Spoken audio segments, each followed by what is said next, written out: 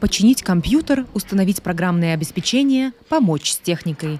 Уже больше полугода Олег Пономарев волонтерит в интеграционном центре для русскоязычных «Клуб Диалог» в Берлине. А по вечерам учит немецкий, чтобы самому быстрее адаптироваться в Германии. Но, возможно, Берлин так и не станет его новым домом.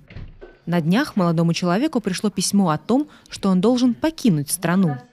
Олег получил отказ в политическом убежище, которое он, как уклонист из России, запросил в октябре 22 года, приехав в Германию через Финляндию. Эта новость стала для него ударом. Отчаяние, усталость, чувство безысходности временное, даже, может, какая-то обида. Были предположения, что будет отказ тоже, но надеялся на позитивное решение. На 24 листах обоснование – мало политической активности в России, отсутствие явных угроз, низкая вероятность отправки на фронт.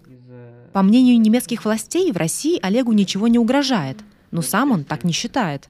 Молодой человек открыто критиковал войну в соцсетях и выходил на митинги в Германии. Скорее всего, просто у меня обо мне информация есть, и при пересечении границы просто ко мне подойдут и довольно быстро возбудят уголовное дело. Дискредитация, фейки – все идет только ухудшается, ухудшается внутри страны, и, соответственно, не за горами тотальная мобилизация, плюс у меня категория годности подходящая для мобилизации, плюс у меня водительское удостоверение, позволяющее мне управлять военным автотранспортом, категория С. И случай Олега не единичный. С начала полномасштабной войны почти четыре с половиной тысячи мужчин призывного возраста из России запросили убежище в Германии. Более чем в половине этих случаев миграционная служба уже вынесла решение. В большинстве из них оно формальное. Это значит, что заявителя перенаправили в другую страну, которая несет ответственность за его защиту. В тех же случаях, когда Германия взяла на себя ответственность, убежище было предоставлено лишь 159 раз. 412 человек получили отказ. И процент позитивных решений по подсчетам политиков из левой партии в последние три года только снижается. Еще один молодой человек, которому в убежище в Германии отказали, поделился с ДВ своей историей на условиях анонимности. Мы будем называть его Дмитрий. В отличие от Олега, который уехал из России еще до получения повестки, Дмитрий успел даже пообщаться с сотрудниками военкомата. Я сбежал с военкомата, когда они мне сказали, что у тебя есть время собраться, как бы, и ты едешь повестку я не могу предъявить, потому что ну, у меня нет ее в руках, мне как бы изъяли. Там одним днем все случилось, э, буквально там за несколько часов. Я... В России молодой человек занимался подпольным активизмом еще с 2010 года, и особенно после начала войны, которую Дмитрий описывает как личную трагедию. Расклеивание стикеров – в метро, э, информирующим э, о том, э, что эта война преступная, о том, что ее развязал Владимир Путин, о том, что надо бороться с ним силовыми методами. Вот. Также рисовал граффити.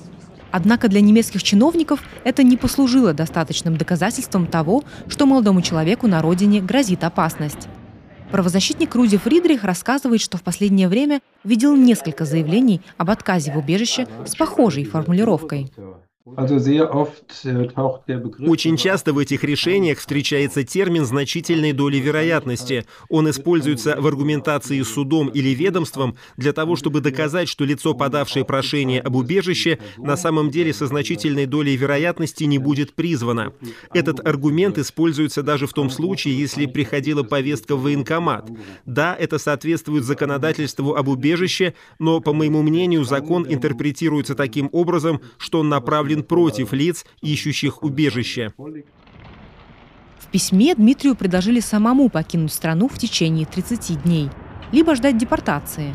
Напрямую в Россию из-за отсутствия авиасообщения депортировать сейчас его не могут, но молодой человек решил не рисковать и опротестовал решение. Я не вернусь в Россию. Что, что там ждет, ждет людей, как бы э, пытки, тюрьма, э, война, как бы и смерть, что там людей еще ждет. Они считают, что мне безопасно находиться в России, как бы, да, у них э, складывается такое мнение, да, они сами боятся биться с путинским режимом, а призывают россиян с ними биться. Олег тоже собирается бороться за свое право на убежище в стране и называет решение властей несправедливым. Они хотят, чтобы мы высказывались, чтобы больше у нас было политической активности, но отказывают в убежище, а уже за то, что ты высказал, за протесты, тебе легко могут э, несколько статей в России повесить и отправить в тюрьму. Очень страшно, что в один день ты проснешься, тебе полиция постучит в дверь и скажет на выход в сторону России. Где мне искать спасение? В ближайших странах зарубежья, где работает экстрадиция, они дружат с Путиным. Доказывать свою правоту обоим молодым людям предстоит в суде. Это может затянуться на несколько лет. Пока же они могут оставаться в Германии в статусе просителей убежища. Но с этим статусом не так-то просто найти работу, учебу или даже снять жилье.